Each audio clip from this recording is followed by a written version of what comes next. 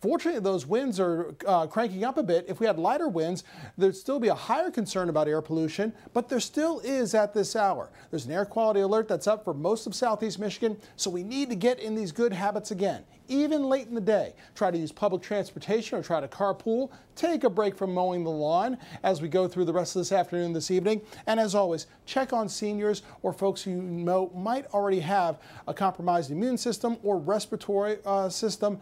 Make sure everyone is okay. It's a neighborly thing to do, of course, and it's what Detroit and Southeast Michigan are known for, right? Well, currently we're looking at 84 in Oxford. Still warm, much warmer than average, although temperature a little bit lower. Same thing in Mount Clemens, while it's 88 degrees over in Carleton. All these temperatures easily 6 to 10 degrees higher than average. We're, we're looking at uh, air quality alert for most of southeast Michigan. Actually, these temperatures are nearly 20 degrees above average in many instances. Now, you can see some rain off to our west, but that is slowly inching its way along and staying mainly right around Chicago over Wisconsin and in western Illinois. But as it breaks down, we're going to see some of the clouds uh, from it overnight tonight. There's that brief chance of a shower Saturday midday, maybe the early afternoon. But as you can see here on Sunday, that's where we have the better chance of rain with some of that volatility still around.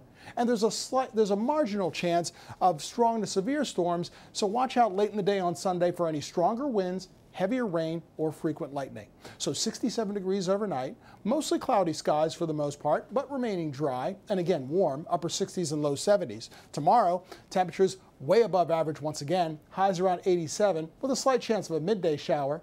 A better chance of a shower or thunderstorm on Sunday. We have a brief uh, part, of, uh, so we have some brief relief on Sunday with highs in the 70s, but notice the chance of showers as we go through the middle of next week and warming up again by next Tuesday, but then back into the 70s with sunnier skies by the end of next week. Back to you.